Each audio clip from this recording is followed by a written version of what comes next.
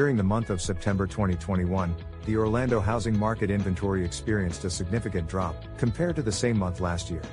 However, the median price in sales increased.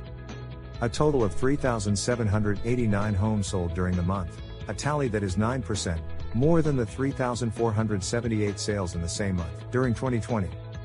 The median price of an Orlando home sold in September 2021 was $318,000, which is an 18% increase compared to the same month last year.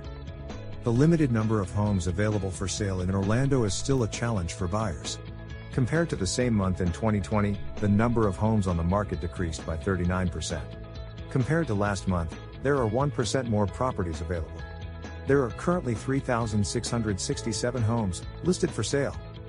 Whether you're looking to buy, sell, or rent, contact a realtor today so you can get moving.